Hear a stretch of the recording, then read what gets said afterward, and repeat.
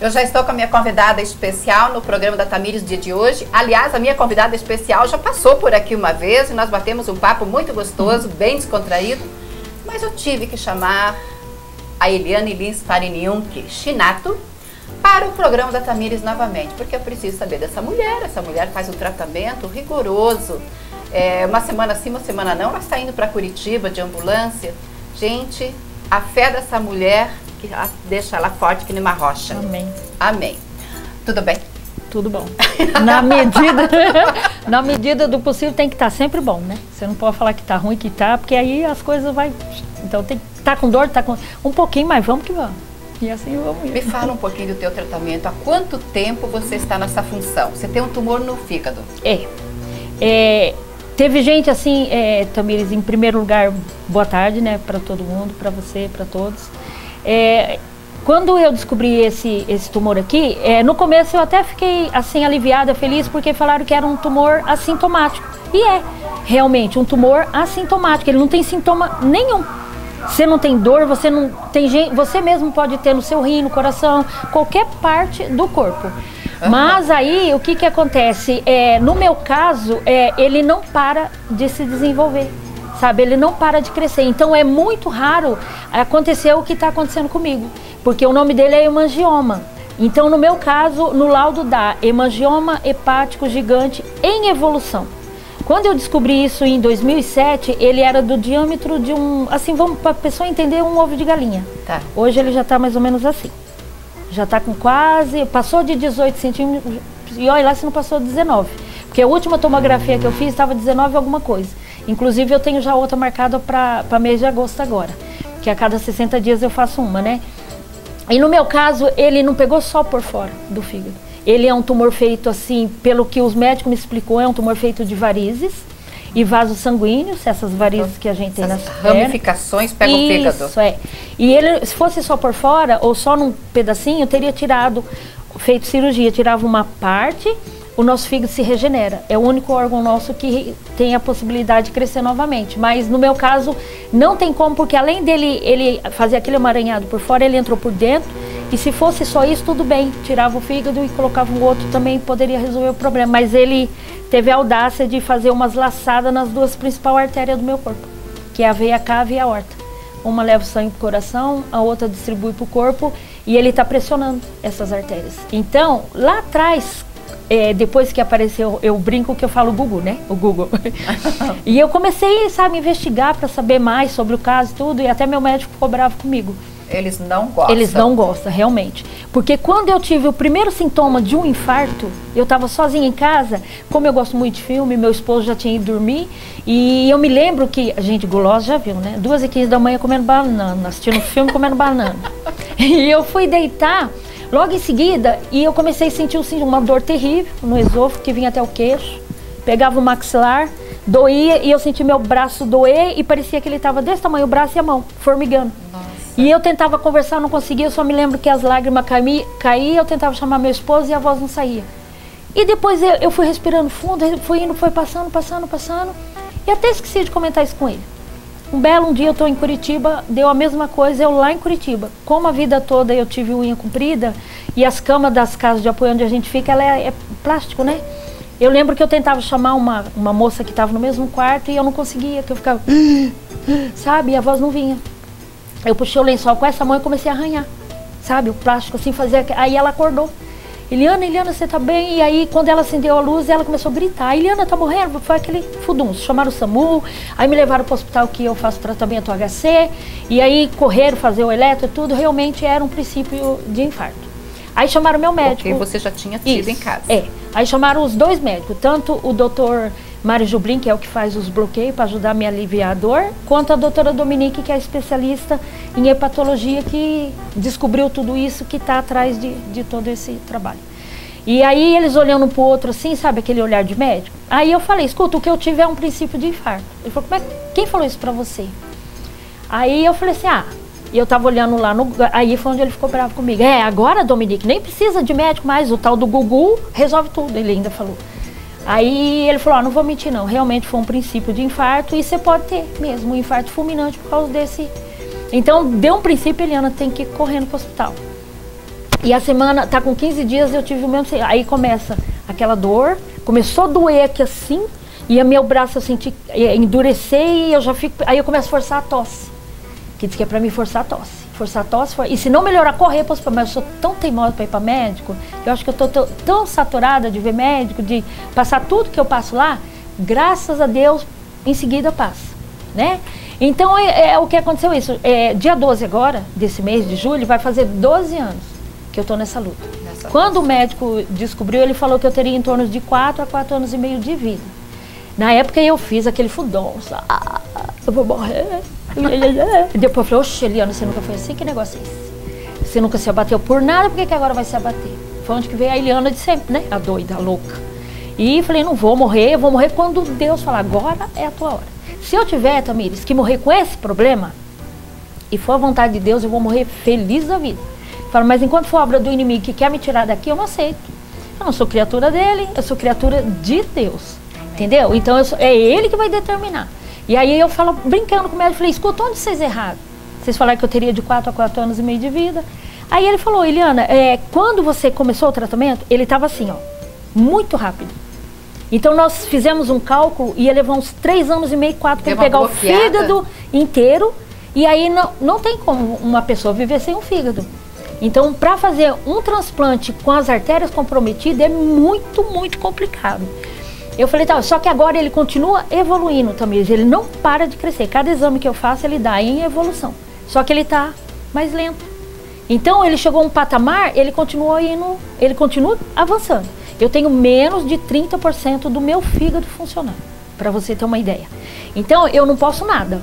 É mais fácil eu falar para você aqui o que, que eu posso comer do que eu, não, que eu não posso. Mas eu sou teimosa e gulosa, né? Para doce, então. Aí eu como, às vezes eu como tudo, aí eu choro, aí tem que tomar morfina, aí fico 48 horas jogada numa cama, que meus filhos chegam em casa, abre a casa, entra, pega o um negócio, faz o um negócio, eu nem vejo. Marido às vezes chega, eu nem vejo.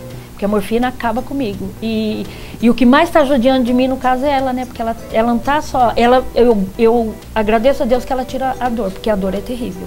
Eu não desejo para o inimigo, se é que eu tenho um.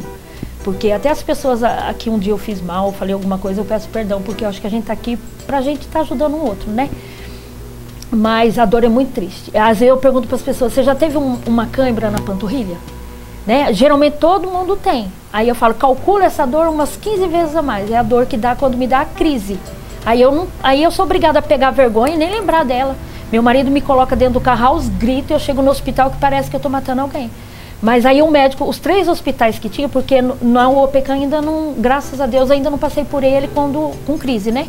Mas é, geralmente você passa mal, você tem que ir para o pronto atendimento, eles te encaminham, né? Para o hospital de plantão. Aqui, eu já tenho ficha nos três hospitais. Eu chego lá gritando de dor, eles já me levam automaticamente para dentro e já é morfina. Aqui, aqui, na perna, onde pegar.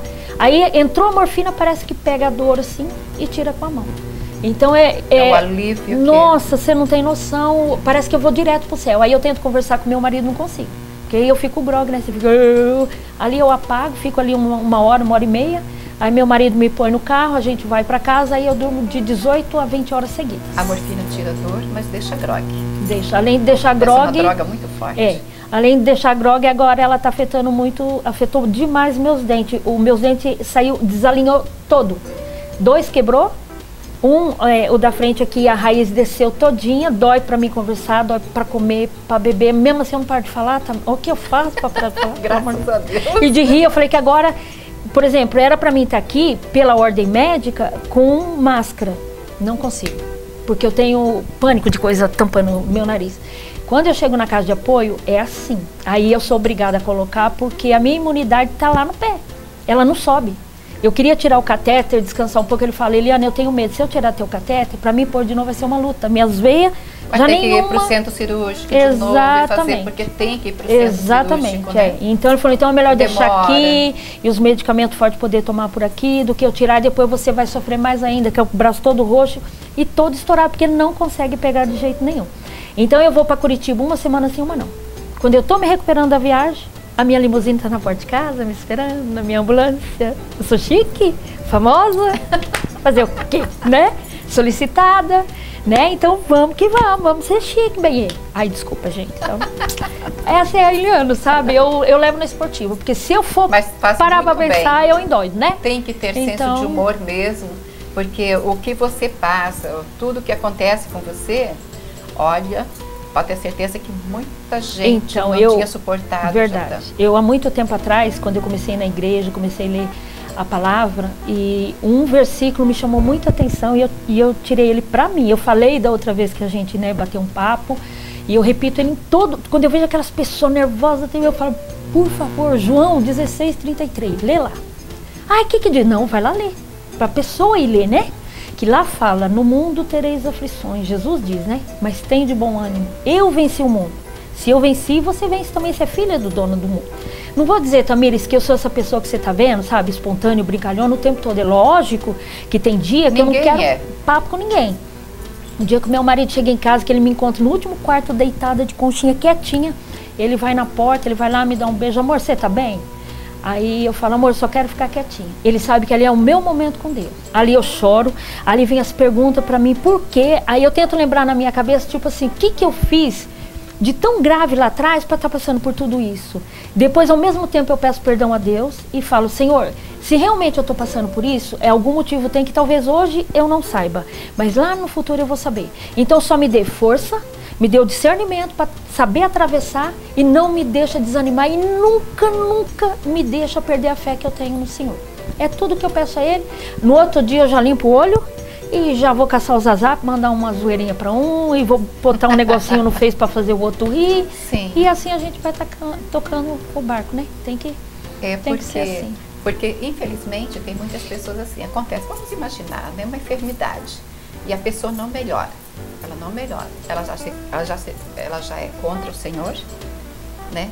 Uhum. Então, e se chegar a perder a vida de alguém da família, também já fica com raiva de Deus. Verdade. Não, ele não fez nada daquilo que eu imaginava. Por, que aconteceu isso com, com a minha filha, ou com meu pai, ou com a minha mãe? Então vem os porquês. Exatamente. Né?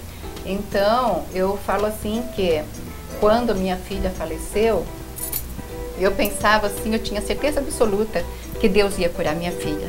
Eu orava dia e noite, mas eu tinha certeza. Então eu cheguei à conclusão que chegou a hora dela e eu estava aguentando ela.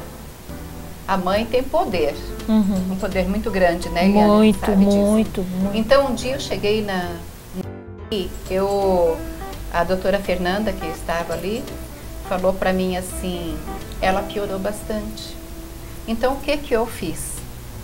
Eu coloquei a mão na cabecinha da minha filha. Se estivesse viva, ela tinha completado 37 anos é, e liberei ela para Jesus. A melhor coisa que você fez. É. é então, é difícil, não é? Dói demais, é muito difícil. demais, demais, demais. Não posso dizer para você. Você não faz né? ideia que dor é. triste que é. Bom, quem, quem já partiu filho é. de alguém aí que nós estamos falando assim que é, que você perdeu? É. Não, nós não perdemos. Simplesmente o Senhor veio recolher. É. Ele veio buscar, levou para casa, porque ele estava só emprestadinho aqui para gente, né? Então, passado dos meses, eu sofro muito ainda. Se eu falar que não. Não tem como não sofrer, né? Exatamente. Não tem como. Então, eu hoje eu agradeço. Obrigada por o Senhor ter deixado ela esse tempo comigo. Ai, muito obrigada. Bom, muito bom ouvir isso. Muito obrigada. Eu sei que é triste, mas é, é muito bonito ouvir isso. Exatamente. Porque nós estamos aqui emprestados, não é? É verdade. Então, estamos, estamos de passagem. Exatamente. Se eu falar para você que eu sei o que você passou, seria hipocrisia da minha parte, porque glória a Deus eu não perdi nenhum dos meus filhos hoje. Mas eu, não, eu já tentei me colocar, mas nem quero me colocar. Eu sei que a dor deve ser terrivelmente, terrível. Mas é isso mesmo que você falou. Então eu falo para Deus, o dia que o Senhor falar agora é o, é o teu momento, é a tua vez de vir, pode ser agora, daqui cinco minutos, amanhã ou depois, eu vou feliz da vida também, de verdade, sabe? Mas eu falo, enquanto é obra do inimigo querendo me levar, não, não sou criatura dele, não vou admitir, não vou aceitar. Então tem gente que fala para mim assim, é, Eliana, Você já parou para pensar que de repente é, é esse o teu, a tua missão? Eu falei, se for, então eu acho que eu estou fazendo, eu não posso estar fazendo perfeitamente bem, porque também eu gostaria muito de poder sair mais, poder visitar mais pessoas, você entendeu? Poder visitar mais pessoas doentes devido ao problema da minha imunidade. Então não é todos os lugares que eu não posso visitar amigas que ganham Sim, bebê, sabe? Eu tenho amigos internados, não, exatamente, grave. né? Então é mais pelo o, pelo WhatsApp, pelo Face, quando eu vejo que alguém está tristinho que eu entro no particular e vou bater um papo não desliga o telefone sem, falar, sem saber que aquela pessoa já está ali sorrindo, brincando. Eliana, foi Deus. O, o que aconteceu essa semana agora foi tão assim espontâneo que uma amiga minha, ela estava com um problema muito sério e eu estava indo na minha mãe, eu fui até onde meu marido fica. Falei, chegando ali, o carro está lá, ele pede para alguém me levar na minha mãe, dá, dá uma quadra da, da minha casa. E eu olhei assim, eu falei, eu acho que é essa minha amiga. Quando eu olhei que eu tive, porque meu olho é embaçado diretão, por causa da morfina, sabe? Loira, né? Ai, desculpa. Aí eu olhei e falei, acho que ela assim. Quando eu vi que era, eu pulei na frente dela, que não malou. Pá!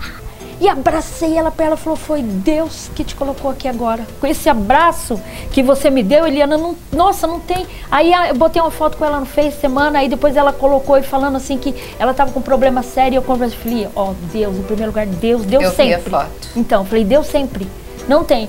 Então eu acho assim, é, se realmente essa for minha missão, eu sinto em não poder fazer mais, de verdade, porque eu vou falar para você, é, você pensa que essa que está aqui brincando com você, sorrindo, é o dia inteiro, não é.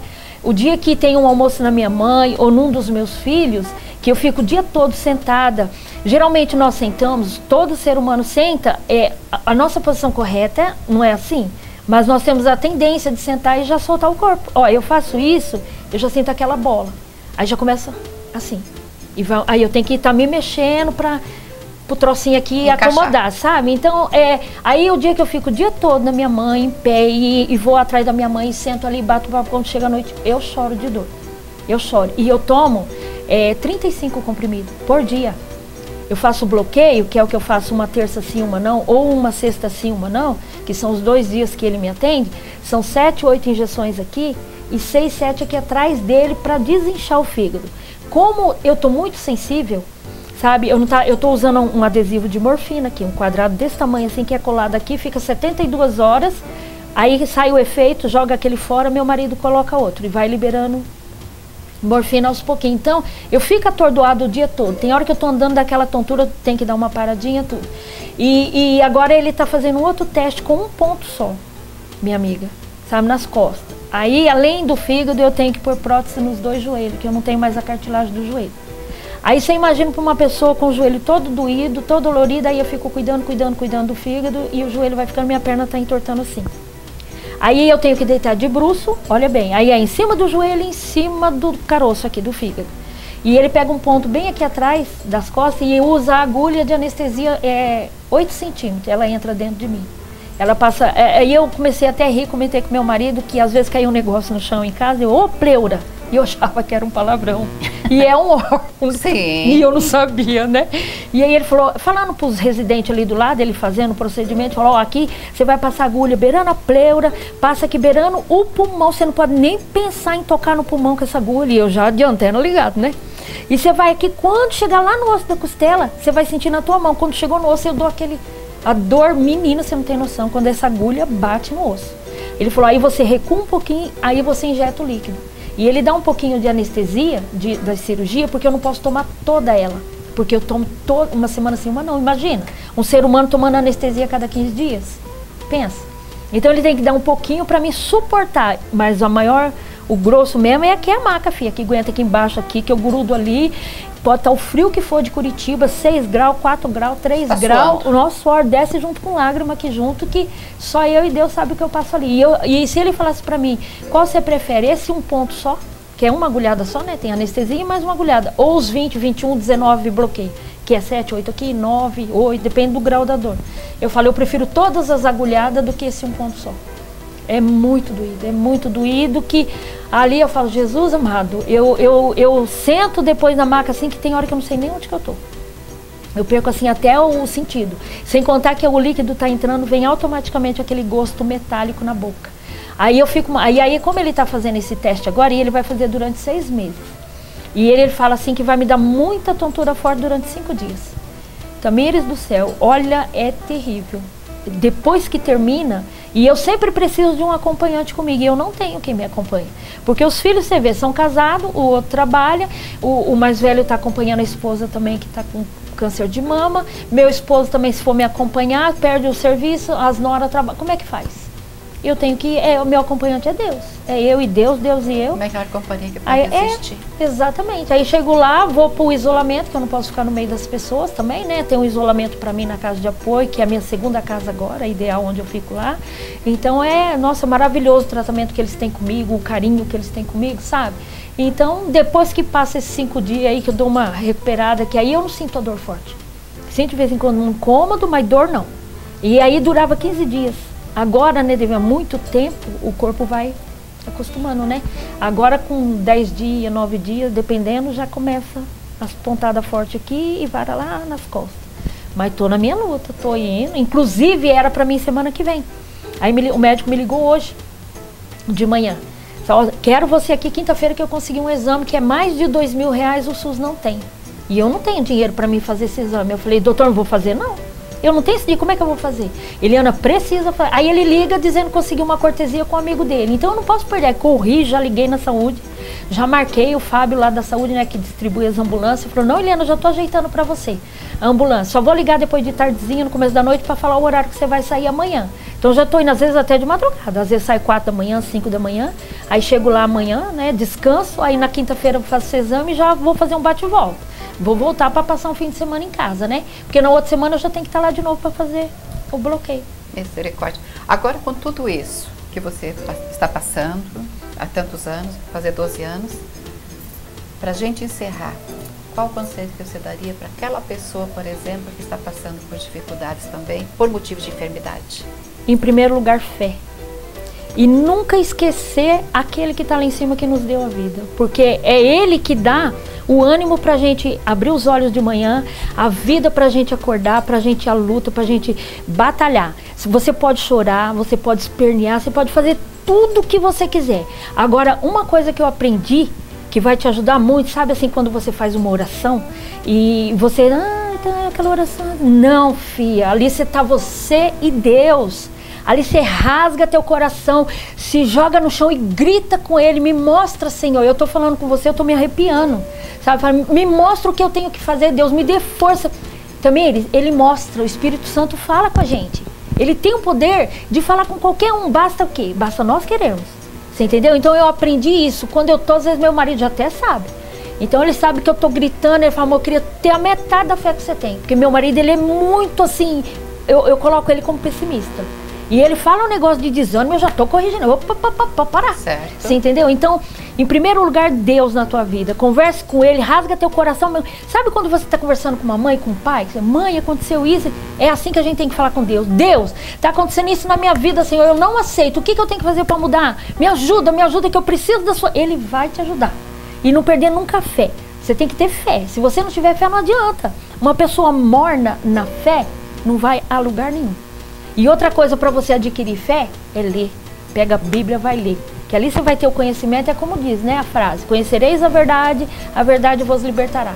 E através de você ler a Bíblia, ali você vai ver tudo o que a gente tem que fazer. A minha vida era para estar mil e uma maravilha. Aí tem gente que fala para mim: Ai, Eliana, você se tornou uma pessoa evangélica, você fala em Deus, você fala tanto em Deus e não está curada ainda. Por quê? Por que, que esse teu Deus não te curou? Aí é que vem o que eu fiz lá atrás. Entendeu? Porque tudo que a gente fala e faz tem consequência também. Se a gente falar e fizer coisas boas, as consequências serão boas. Agora, se a gente falar e fizer coisas ruins, as consequências serão ruins. E lá atrás, quando eu não conheci esse Deus maravilhoso que hoje cuida de mim e que me dá força para mim continuar nessa luta, eu não estaria aqui. Entendeu? Então eu fiz coisas erradas lá atrás. Não foi pouco, foi muito. Tem hora que eu lembro coisas que eu fiz que eu falo, meu Deus, não acredito que eu fiz isso. Tudo é consequência. Você entendeu? É consequência do que a gente fez lá atrás. Então, é, quando um cara mata alguém, aqui pela lei do homem ele não vai preso? A ele vai retorno. Exatamente, ele vai pagar ali com a prisão. Você entendeu? Então, ele pode aceitar Deus, aceitar Jesus e ele é perdoado de coração se realmente ele se arrependeu. Então, assim é com todo mundo. Então, nós temos que ter fé, conversar com o nosso Deus, porque ele vai mostrar o caminho e ele vai, acima de tudo, dar o quê? Força, esperança e, e falar pra gente que ali, ó, no fim daquele túnel tem uma luz e eu creio nessa luz. Foi o que eu te falei, sabe? Eu posso morrer por causa desse problema. Mas se for a vontade do Senhor, eu vou morrer feliz da vida. Agora, se é do inimigo, eu não aceito porque eu não sou criatura dele. Então, gente, ó, sempre fé e converse sempre com Deus. Ele é o melhor amigo de todos. É Deus. É isso. Tanto que você tem colar aqui. Fé. Fé. E eu ganhei da minha nora. Sabe? Porque eu acho que tanto falar, um dia que ela me deu de presente, ela falou, ó, você falou tanto em fé aqui, ó. Sabe? Então foi minha nora que, que me deu. Que Jesus Tô. abençoe grandemente. Amém. Amém a nós todos, né? Torço muito por você. Você Amém. é muito especial para mim. Você também. É recíproco, muito, você sabe, né? Deus sabe o quanto. Amém. Eu vou ficando por aqui com essa pessoa maravilhosa. Voltando já.